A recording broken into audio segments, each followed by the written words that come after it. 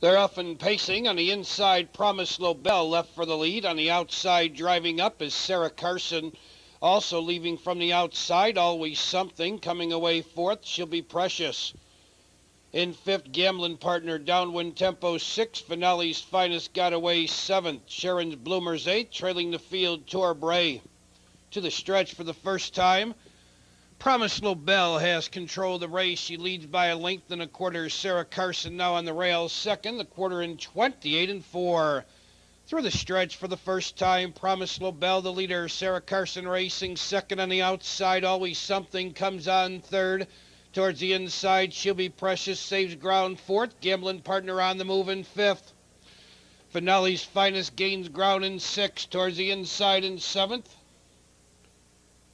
That's downwind tempo. Racing in eighth on the inside is Torbray, far back trailing the field. Sharon's Bloomers. Half was in 58 and 3 on the mid back stretch. Your leader by a length and a quarter is Promise Lobell. Always something on the outside second. Sarah Carson gapped, and now she's in third. Moving up on the outside fourth. Gambling partner, she'll be precious, getting pushed back on the rail. Then on the outside, it's Finale's finest. Torbray on the move, seventh. Downwind tempo is eighth, and trailing the field, Sharon's Bloomers. Three quarters in 127 and 3. Promise Lobell turns for home. Two on top. Racing in second position. Always something. Gambling partner is third. On the outside, Finale's finest gains ground fourth. Final eighth of a mile. Your leader, Promise Lobell, on the inside, racing second is always something. Closing up on the outside, Finale's finest. She'll be precious, having all sorts of trouble. Your leader, Promise Lobell, Finale's finest at the wire. Promise Lobell may have held on. Finale's finest, it's tight. Tight for third. She'll be precious, maybe.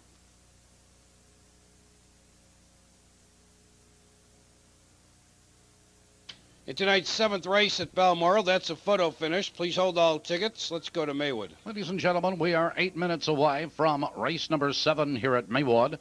Perfecta trifecta wagering on this race, the second half of the twin trifecta. Field of eight, no changes. Eight minutes till post.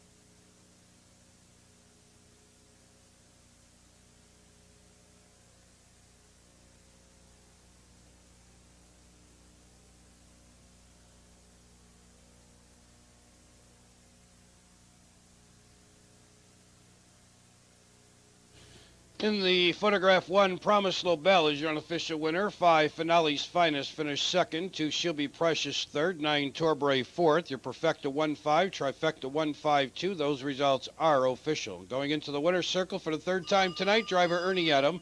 This time behind the Walter Rupp Jerry Hansen train Promise Lobell. As I said, Walter Rupp is the owner. Ernie Adams, third winner of the night.